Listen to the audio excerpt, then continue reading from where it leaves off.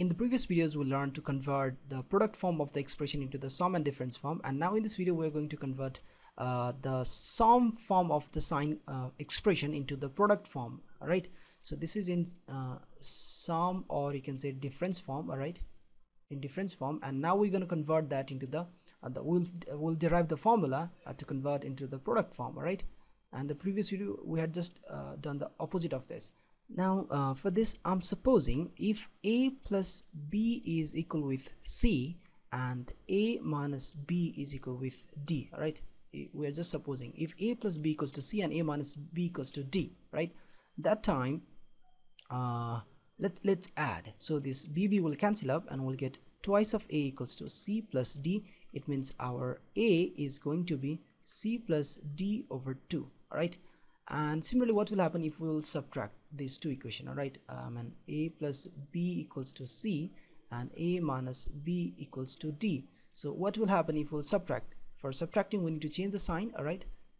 Okay so this a and a will cancel up and we'll be left with b and b that is twice of b which is equal with c minus d so our b is going to be c minus d over 2 all right? So keep these two things in mind all right?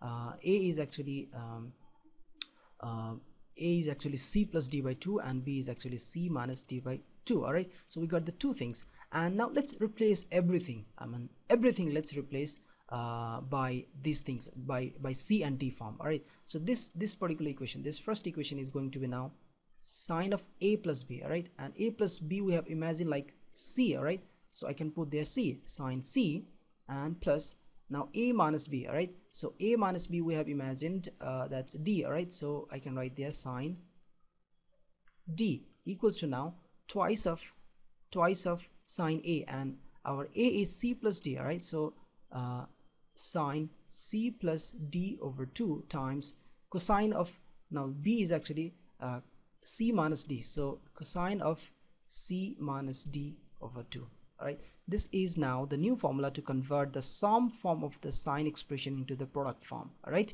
And now this second equation is going to convert as uh, sine a plus b that is c and then minus sine a minus b that is d which is equals to now twice of cosine of a. A is actually c plus d by 2 all right? C plus d by 2 and b sine b. B is actually c minus d over 2 so we we get here another equation another identity to convert the difference form of the sine function into the product form all right? So uh, we have a very great use of these two formulas all right? So keep in mind every time this is gonna help us uh, for example i'm taking here all right? If i have sine 60 degree uh, plus sine 20 degree then i can easily write that uh, this this this sum form of the equation into the product form. And here sine c plus sine d is actually twice of sine c plus d by 2 so it will be now twice of sine c plus d by 2 so 60 plus 20 divided by 2 that is 40 degree.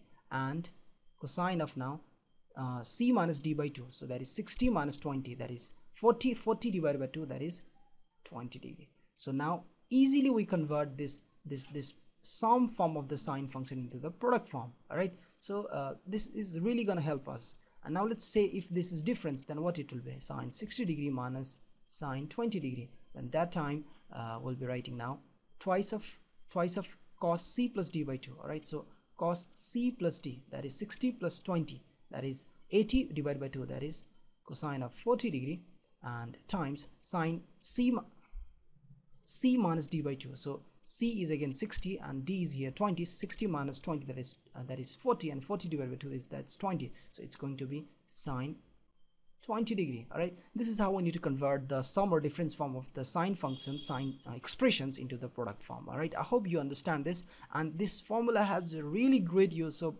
um, i'm suggesting my brother and sister please write this twice or i mean i mean at least 10 to 15 times and and then uh, go on solving the question related to this two uh, these two formula right? And in next videos we're going to learn about the uh, about uh, converting the sum and difference form of the cosine function into the product form all right? See you in the next video. Goodbye